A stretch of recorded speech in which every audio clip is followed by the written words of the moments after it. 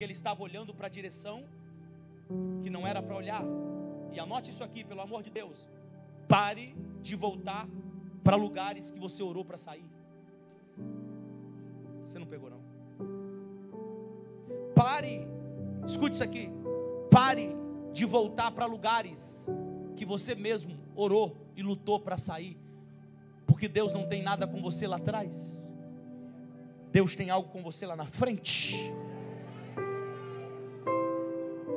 Por que é que Josué não avançava? Porque todas as vezes que ele ia avançar, a força que puxava ele era maior do que a força que fazia ele avançar. Então ele olhava para Moisés, e quando ele olhava para Moisés, ele se via inválido, porque ele dizia: Moisés era o cara e eu não.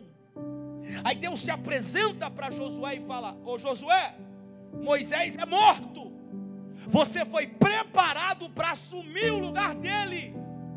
Então o que você vai fazer agora? Atravessar o Jordão e levar esse povo